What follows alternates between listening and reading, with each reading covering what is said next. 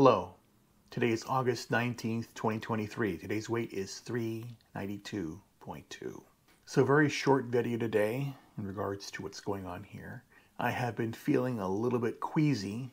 That's all I can basically say. Just, you know, uneasy, queasy. It's been building up. But I did have a good amount of food yesterday, and I am going to the club today to do some arm workouts because that's the most important thing I need to do. Continue to concentrate on that.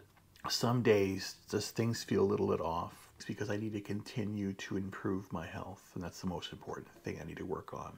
And it just like days like this is when I feel a little off. So that's the main focus for what I'm working on right now. Need to concentrate on the future because right now I feel I'm in like a stagnation, and that's what's really happening. So I need to work on that, make myself feel better. So that's my big plan for the rest of the weekend to get things done. Take care, guys.